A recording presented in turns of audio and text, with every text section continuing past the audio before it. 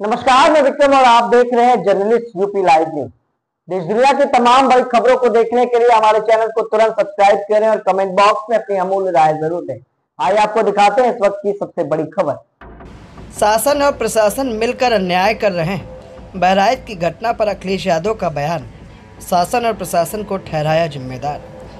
उत्तर प्रदेश बहराइच की घटना पर समाजवादी पार्टी के अध्यक्ष अखिलेश यादव का बयान सामने आया है। मीडिया से बातचीत में उन्होंने उत्तर प्रदेश की योगी गवर्नमेंट को इस घटना के लिए जिम्मेदार ठहराते हुए ये बड़ा बयान दे डाला है। जिनका कार्यकाल आठ साल का, इसी तरह का रहा हो जिसमें उन्होंने तोड़ फोड़, बुलडोजर चला के पुलिस प्रशासन से अन्याय कराने का तो अब जाते जाते क्या नया काम करना चाहते हैं? अब तो जाने का समय है।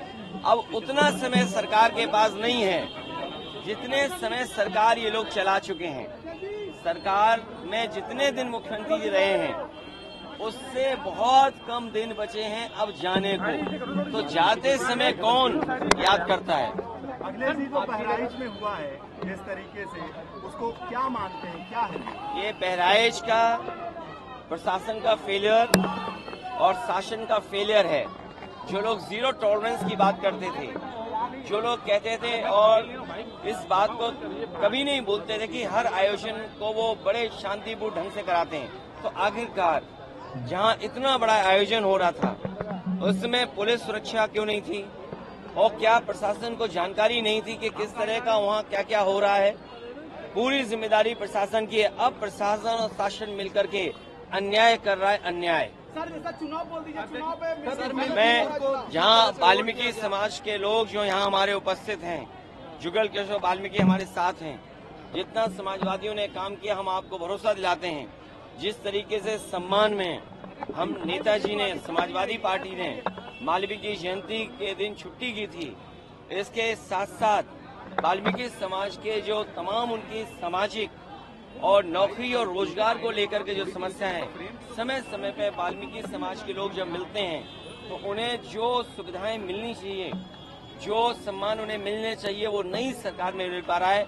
हम अपने वाल्मीकि समाज के लोगों को कहना चाहते हैं, समाजवादी लोग जब सरकार में आएँगे, उनके रोज़गार का सम्मान, उनको सम्मान देने का काम हम लोग करेंगे। जहाँ तक मिल्की मिल्की, मिल्कीपुर का चुनाव, मिल्कीपुर का चुनाव उनके अपने सर्वे में।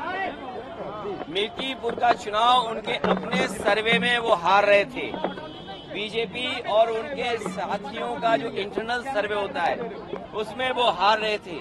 इसीलिए उन्होंने पहले बीएलओ बदले, जिसमें कि पिछड़े पीडीए परिवार के सब बीएलओ हटा दिए गए। बीएल पीडीए परिवार के अधिकारी हटा दिए गए। उसके बाद फिर उन्होंने इंटरनल सर्वे कराया। मुख्यमंत्री जी कई बार गए। प्रशासन के लोगों को बुला करके राय मशवरा किया। इंटेलिजेंस रिपोर्ट ली। जब उन्हें ये पता लग गया कि वो चुनाव हार रहे हैं, इतने खेल खेलने के बाद बीएलओ हटाने के बाद, अधिकारी एक भी नहीं छोड़ा पीडीए परिवार का। मैं अपने साथियों से कहूँगा जो मैं कैमरे गिर रहा हूँ, एक, दो, तीन, चार, पाँच, छह, सात, आठ, नौ, दस, ग्यारह, बारह, तेरह, चौदह, पंद्रह, सोलह, सत्रह, अठारह, उन्नीस, बीस कैमरे से ज़्यादा हैं।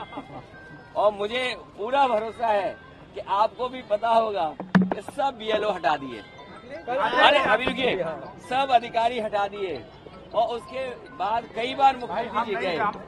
तो उसके बाद उन्हें इंटरनल सर्वे में वो हार रहे थे, हार चुके थे।